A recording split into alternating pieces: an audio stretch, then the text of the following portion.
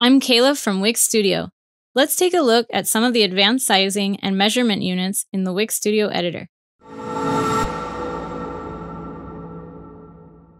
Most elements in the Studio editor have some kind of default responsive behavior. But if you want to take control of the behind the scenes measurements yourself, you can switch individual components and elements to advanced sizing by clicking the More Actions icon here and switching the toggle on. Or, with the element selected, you can just press Option and I. When you turn on advanced sizing on a component, it'll make the measurement units visible for that component on all breakpoints. Just a heads up, you can only switch components back and forth one at a time. You can't turn on advanced sizing for your entire site at once. Now, you can go to any breakpoint and change these to a set of measurements that aren't even covered by a default behavior option.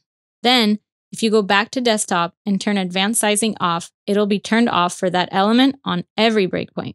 But turning it off won't change your work. Instead, on mobile, where we customize the measurements, you'll see mixed again. Think of it as an inspector panel setting that just shows the editor in a different way. So with this switched off, when you change a responsive behavior on a lower breakpoint, you'll create an override, disconnecting that element's responsive behavior from its properties on higher breakpoints. The same is true when you change its behavior in advanced sizing mode. If you're happy with the element's responsive behavior, you can just leave this mixed as is. Your custom measurements will stay the same on mobile. The only absolute unit of measurement is pixels. They're exactly the same across all screen sizes. Pixels are used as the behind the scenes measurement in the fixed default responsive behavior. But if you use percentage, your elements will maintain their dimensions relative to their parent elements. So an element at 70% width will always be 70% of the width of its parent across all screen sizes. Then we have viewport units, which are measured out of 100. Elements always take their values from the viewport, independent of their parent. So with viewport width, or VW, the viewport is the size of the area within the browser.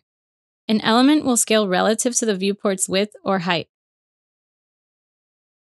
Viewport height, or VH, works the same way, but takes the measurements from the viewport's height. Next, we have calc, which allows us to set a measurement based on a calculation. So if, for example, you wanted to have a header and section take up the entire viewport, you'd set the section height to calc with the calculation of 100 VH minus the header height, which in this case is 100 pixels. And now, you can see that the header and the section together take up the entire height of the screen. Min and max measurements tell an element how big or small it can get across screen sizes before it should stop scaling. If you set the minimum maximum of this element to 100 pixels minimum and 400 pixels maximum, you can see that it stops scaling at those upper and lower boundaries. Now let's move on to auto. If an element is set to auto, its height is determined by its children, by default. Auto also means that as the container's content gets bigger or smaller, the container changes with it and its height will change according to any margins that we add.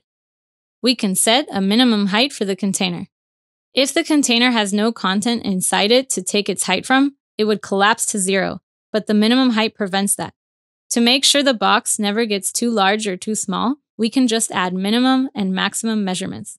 This way, even if we remove this content from the container, it will never snap to zero height. And last up, max content just tells a parent element to match the widest or highest point of the content inside. So basically, when we change a container's width to max content, the text will be just one long line, and the container will be as wide as the text. Now you're good to use advanced sizing and measurement units. I'll see you next time.